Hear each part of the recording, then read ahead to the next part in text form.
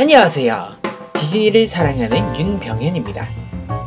저번에 올렸던 디즈니랜드 애너하임을 가는 초심자 분들을 위한 꿀팁 파트 1에서는 준비해서 입장까지라는 주제로 4가지를 소개해 드렸었는데요. 이번에는 Nighttime Spectacular라는 주제로 파트 2를 다뤄보도록 하겠습니다. Nighttime Spectacular는 디즈니랜드에서 야간에 진행하는 빛을 동반한 쇼입니다. 불꽃놀이도 물론 들어가 있지만 불꽃놀이만을 말하는 게 아니라 water screen이나 잠자는 숲속의 공주성의 화면을 비추고 조명, 연기, 화염 등을 포함하는 아름다운 쇼입니다. 여기에 포함되는 것은 World of Color, 그리고 Fantasmic, 불꽃놀이입니다. 디즈니랜드에 가셨으면서 이 세 쇼를 보고 오지 못한다면 디즈니랜드의 3분의 1은 날리셨다고 봐도 될 정도로 감동적이고 아름다운 쇼들이라고 할 수 있습니다. World of Color, Fantasmic의 경우에는 평일에는 한 번, 그리고 주말, 공휴일에는 두 번을 하고요. 불꽃놀이는 거의 고정적으로 평일, 주말 상관없이 한 번을 하고 있습니다. 이와 관련된 스케줄은 저번 파트 1에서 알려드렸던 디즈니랜드 앱이나 디즈니랜드 웹사이트에 가시면 확인하실 수 있습니다. 먼저 디즈니랜드 캘리포니아 어드벤처의 World of Color에 대해서 설명해 드려 볼게요. World of Color는 쉽게 말하면 음악 분수쇼에 각종 조명 효과, 화염 효과, 그리고 디즈니 영화의 영상을 섞어 놓은 쇼입니다. 그리고 제가 제일 좋아하는 쇼이기도 하고요. 먼저 영상 보고 가실까요?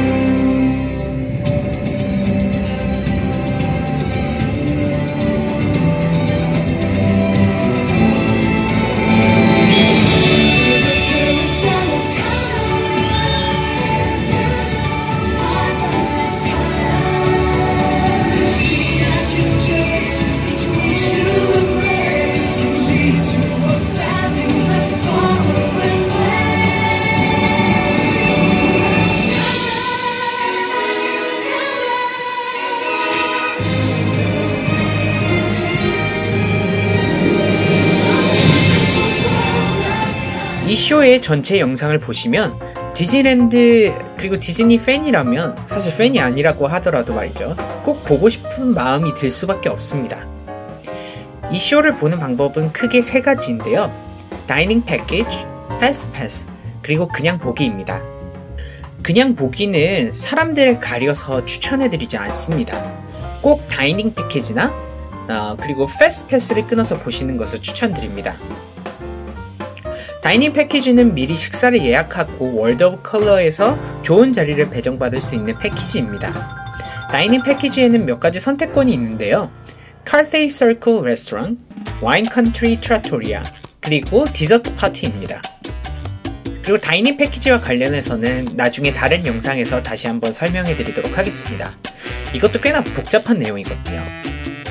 다만 fast pass보다는 dining 패키지가 갑이다 라고 여기서는 말씀드리고 넘어가도록 하겠습니다. 그리고 World of Color도 fast pass를 제공하긴 하는데요. 이건 MaxPass 앱을 통해 어, 예약하실 수가 없습니다. 직접 Ariel's Undersea Adventure 근처에 World of Color fast pass distribution에 가셔서 티켓 바코드를 찍고 fast pass 발권을 하셔야 합니다. 아참, 이 fast pass는 MaxPass를 통해 끊는 다른 fast pass와 완전히 별개 시스템으로 작동하기 때문에 fast pass 선택 후에 대기 시간이 발생되지 않습니다. 조심하실 점은 2018년 5월 현재 World of Color는 refurbishment에 들어갔거든요. 6월 말쯤에 돌아온다고 하니 디즈니랜드에 방문하실 분들은 그 이후로 디즈니랜드 방문을 잡는 것이 좋을 것 같습니다. 그 다음은 디즈니랜드의 Fantasmic입니다. Fantasmic은 미키의 꿈속으로 들어가 상상의 세계에서 펼쳐지는 모험에 관한 이야기인데요. 분수, 화염, water screen뿐만 아니라 실제 캐릭터들이 많이 등장하는 아름다운 쇼입니다. 잠깐 보고 가실까요?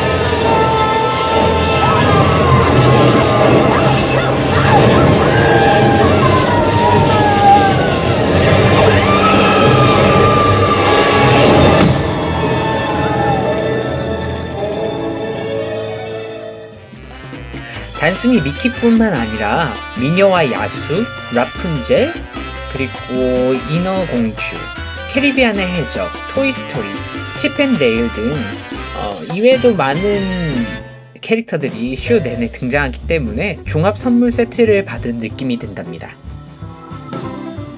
이 쇼를 보는 방법도 어, World of Color와 같습니다. dining 패키지, fast pass, 그리고 그냥 보기인데요. 마찬가지로 그냥 보기는 추천드리지 않습니다. 꼭 dining 패키지나 fast pass를 끊어서 보세요. Fantasmic dining 패키지에는 세 옵션이 있는데요. 캐리비안의 해적 ride 안에 위치한 Blue Bayou 레스토랑, 그리고 강가 근처의 River Belle Terrace, 그리고 Hungry Bear 레스토랑의 on-the-go 패키지입니다. 이것도 나중에 다시 설명해 드리도록 하겠습니다. Fantasmic FastPass도 MaxPass를 통해 앱으로 예약하실 수가 없습니다. 직접 Rivers of America의 마크 트웨인 보트 타는 곳 근처에 있는 FastPass Distribution으로 가셔야 합니다. Fantasmic에도 주의할 점이 있습니다. 가끔 Fantasmic도 어, 단기 공사를 하기도 하는데요. 2018년 5월 현재 공사를 이유로 주말에만 Fantasmic을 공연하고 있습니다. 5월 말부터 다시 주중에도 공연을 하니 그 사이에 방문하실 분들의 주의가 필요합니다. 그 외에도 가끔 쇼 스케줄이 없기도 하니까 항상 쇼 스케줄 확인은 필수입니다. 그 다음으로 불꽃놀이입니다. 불꽃놀이에 대해서 모르시는 분들은 없을 거예요. 하지만 디즈니랜드의 불꽃놀이는 정말 놀랍답니다. 보고 가시죠.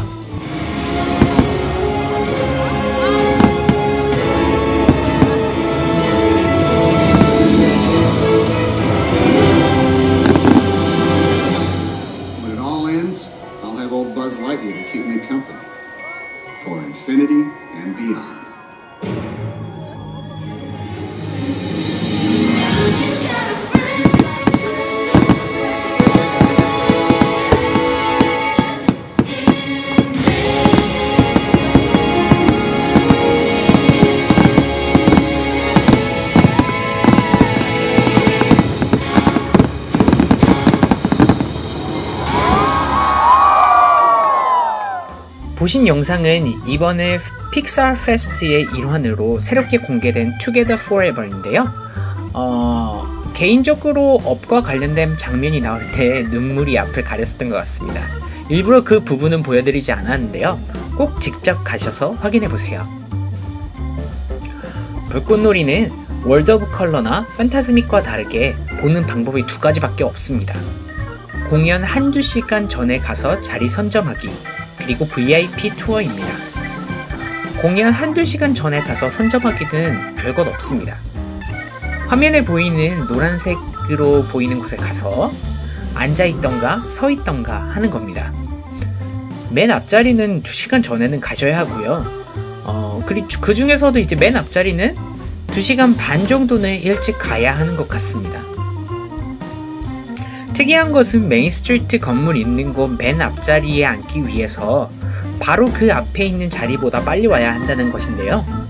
Main Street의 건물들에서 캐릭터가 등장하기도 하고 또한 건물에 비춰지는 프로젝션도 있기 때문입니다. 시간이 있어서 이틀 동안 불꽃놀이를 볼 수 있을 경우에는 맨 앞자리 말고도 이곳을 노려보는 것도 좋습니다. 만약 자리를 선점하지 못한다면 어떤 일이 벌어질까요? 디즈니랜드에서는 안전상의 이유로 사람들이 모든 길을 막지 못하도록 되어 있습니다. 따라서 계속 걸어다니면서 봐야 하는 불상사가 벌어집니다. 이건 불꽃놀이를 본다고 할 수 없죠. 제가 한번 그려봤는데 계속 보다가 끊기게 되더군요. 꼭 자리를 선점하도록 하세요. 일부러 VIP 투어에 대해서는 이제서야 이야기를 하는데요. 이유가 있습니다. 그렇게 추천드리기에는 조금 애매한 프로그램이거든요. VIP 투어는 10명까지 직원 1명이 대동하여 디즈니랜드에 대한 설명을 해주고 원하는 ride를 관람객이 원하는 만큼 줄에 거의 앞으로 데려다 주어 타고 싶은 ride를 빠르게 탈 수 있게 해주는 서비스입니다. 그리고 불꽃놀이, 퍼레이드, Fantasmic, World of Color 중 자신이 원하는 한 가지 쇼에 VIP석에 앉게 해줍니다. 정말 아름다운 서비스라고 할 수 있죠. 가격을 듣기 전까지는요. VIP 투어의 가격은 시기마다 다른데요. 시간당 360에서 500달러 정도입니다. 그리고 최소 6시간 동안 투어를 하도록 디즈니랜드 측에서는 못 박아두고 있습니다. 그러니까 6시간 기준으로 잡았을 때 VIP 투어를 위해서 사용되는 금액은 1960에서 3000달러인 셈이죠.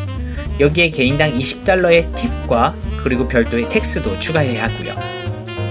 10명이서 왔다고 치고 가장 투어 금액이 쌀 때 온다고 쳐도 개인당 216달러 이상 약 23에서 24만 원 정도를 쓰게 되는 셈입니다.